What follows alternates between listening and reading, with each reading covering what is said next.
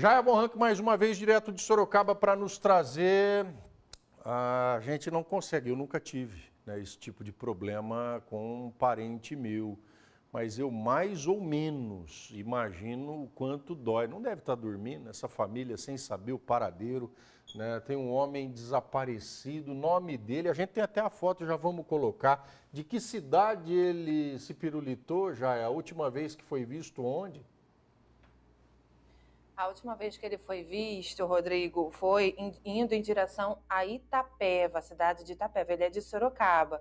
O nome dele, olha, Fernando Costa Gama, de 50 anos. Gente, a família está muito preocupada, desesperada mesmo. A última vez que todo mundo viu, né, o Fernando foi na sexta-feira, quando ele saiu para trabalhar. Ele é entregador de jornal em algumas cidades aqui da região. Então, na cidade né, de Itapeva, Capão Bonito, Sarapuí e Araçoiaba da Serra. E para entregar esses jornais, ele sai bem cedinho de casa, de madrugada. Então, ele saiu às duas horas da manhã de sexta-feira da casa dele e desde então não foi mais visto por ninguém. Aí, claro, né, a família acionou a polícia, tem todo um trabalho aí de investigação, conseguiram imagens aí de câmeras de segurança de um posto de gasolina, que aí acabou registrando então o carro do Fernando passando por ele. Essa é a última imagem, mas também foi na sexta-feira, não foi depois de sexta-feira. Então, de fato, a última vez que ele foi visto mesmo,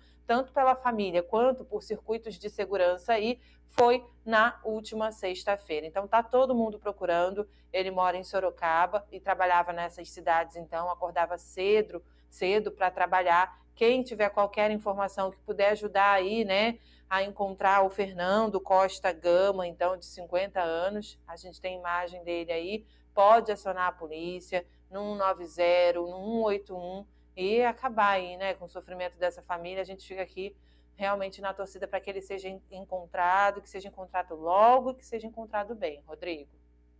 Pela manhã chegou a me dar gastura, um amigo mandando mensagem sobre a filha desaparecida, saiu do serviço ontem e, e ninguém tinha né, informação sobre o paradeiro e tenta ligar, mas não consegue. Meu Deus, meu Deus, angústia. E graças ao bom Deus, nesse caso que eu estou relatando, apareceu. Ah, onde é que você estava? Isso é o que menos importa. Você está aqui agora, né? Tem, você está no meu abraço agora. Que bom.